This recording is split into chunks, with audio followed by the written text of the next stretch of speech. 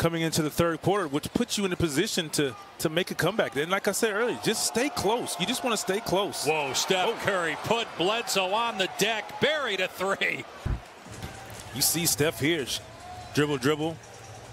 Can't lose your footing here because we've heard somebody say hand down, man down. And right there, just a second too late.